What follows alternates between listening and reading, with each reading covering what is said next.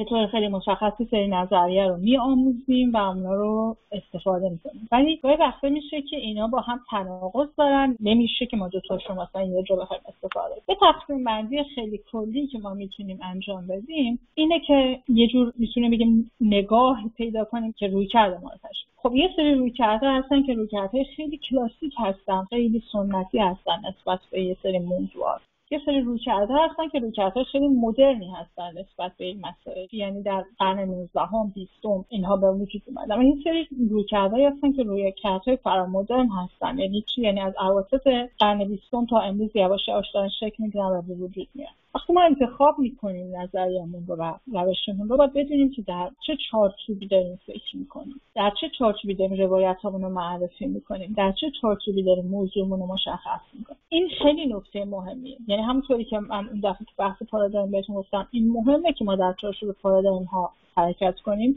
این هم مهمه که بدونیم که چه چارچوب روی کردی قرار می‌گیره. یه وقتی که شما می‌خواین اپلای کنید خیلی موضوع مهمی میشه. برای اینکه بسیاری از دپارتمان ها اصلا مبنای وجودشون بر اساس رویکردهاشونه. یعنی شما می‌بینید که مثلا یک دپارتمانیه که رویکردی که داره خیلی رویکرد مدرنیه نسبت به دنیا. من می‌خوام موضوعات رو توضیح بده که مثلا در دنیای مدرن شکل گرفتن با همون نوع ها در واقع سر کار داره. یا بعضی از دپارتمانهایی که مثلا فرض کنید که پس استعمار کار می‌کنن یا مطالعات جنسیت کار می‌کنن یا امثال هم اینها به روایت های خورتر به نظریات خورتر به نظریات فرامدرن خیلی وقت توجه می‌کنن. مهمه که شما بدونید که روی کرد اون کس اون استاد یا اون دپارتمانی که شما باید سر کار دارید چیه؟ کاری که می‌تونید بکنید اینه که برید ببینید که اونا مثلا در سال اخیر چی منتشر کردن و لیستی از اونا داشته باشید. نگاه کنید کلید های اونا نگاه کنید ببینید که نوع نظریاتی حرکت کردن و بنابراین رویکردشون نسبت به یه مسئله چی بوده.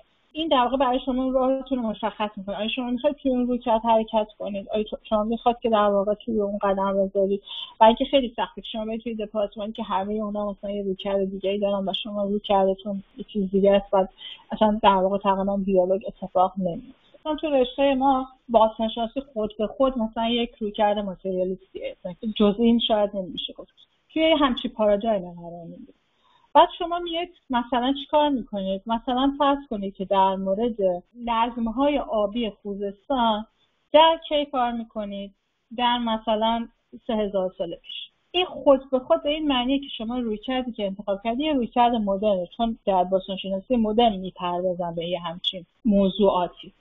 حالا مثلا اگه شما برید با همچین موضوعی برداری از یک روش کلاسیک مثلا استفاده کنید یعنی روش که مثلا تو قرن 19 استفاده شده یکم خندهدار میشه کاری که داریم می‌کنید اینه که تناسب این موضوع خیلی با هم مهمه. همیشه باید چک کنیم اینا رو.